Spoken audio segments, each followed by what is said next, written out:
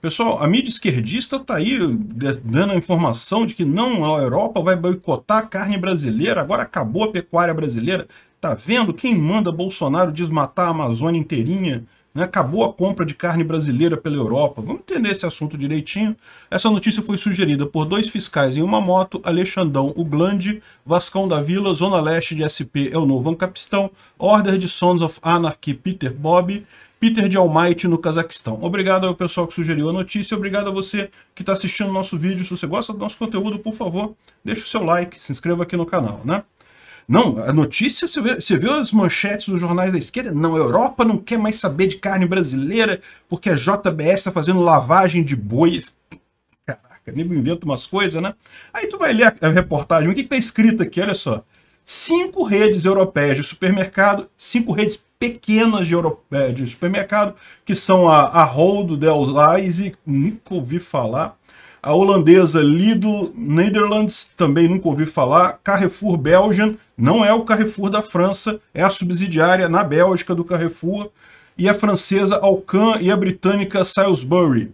E também a empresa alimentícia britânica Princess Group. Falaram que não vão comprar mais carne brasileira porque ficaram indignadas com um documentário que surgiu sobre como a JBS desmata a Amazônia e Bolsonaro é mal e não sei o que lá.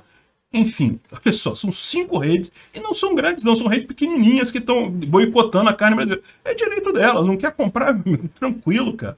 O grande problema do pessoal, aí tá falando que lavagem de gado, porque diz que teve uma investigação da ONG Repórter Brasil. É lógico, né? Esquerdista você já viu, né? Olha só, a JBS merece se fuder mesmo, tá com todas as letras. Mas quando você vê o troço aqui, o que aconteceu? Olha só. Ah, e detalhe, eles estão falando assim, não que não vão comprar mais carne do Brasil. Não é bem assim, olha só. A Lidl se comprometeu a não vender mais carne com origem na América do Sul inteira a partir de 2022. Então, não é bem contra o Brasil, né? A Albert Regin comunicou que vai parar de vender carne brasileira. A Deleuze e Carrefour Belgium não vão mais vender salgadinhos de charque e outros produtos de uma marca associada à JBS. Ou seja, cara, vai deixar de vender um negócio lá da JBS. Beleza. E a última aqui esclareceu que suas prateleiras apenas alguns poucos salgadinhos feitos com carne brasileira. E a Salisbury falou que pretende eliminar a carne brasileira da sua marca própria de carne enlatada, mas acrescentou que 90% da carne já vem do Reino Unido e da Irlanda. Então, não vai fazer diferença nenhuma. Então, ou seja, final das contas, nego tentou fazer um escarcel, não porque está vendo a Europa está retaliando os produtores de gado brasileiro, Nenhuma, porra nenhuma, meia dúzia de esquerdista lá que ficou putinho com alguma com reportagem de uma ONG esquerdista. É esquerdista fazendo esquerdice, tá ok. Bom pra gente que sobra mais carne pra gente vender. Recentemente a China tentou fazer uma brincadeira dessa, bem mais séria, tá? Da China foi mais séria. A China fez um boicote da carne brasileira, é, proibiu exportação, alegando falta de vacina, de não sei o que lá, não sei o que lá, porque, segundo eles, né, o que eles queriam, na verdade, era baixar o preço da carne brasileira. O Brasil tem uma posição privilegiada hoje no mundo, né, de grande fornecedor de comida. Tem um monte de lugar que é deficitário em termos de comida, inclusive a Europa. O pessoal sabe muito bem que se eles forem viver só da, da, da produção é, é, agrícola europeia, eles estão ferrados, não tem comida para todo mundo. Mas beleza, aí, ou seja, é, é lógico que se, o comércio é sempre um jogo que beneficia os dois lados. Beneficia quem vende, mas beneficia quem compra também, né? Então a China fez essa brincadeira de não, não vamos comprar a carne porque não sei lá que lá. O Brasil aumentou a exportação para os Estados Unidos, não fez diferença nenhuma. A China agora suspendeu as barreiras todas sem mudar nada, não teve nenhuma mudança, suspenderam as barreiras, voltamos a vender para a China.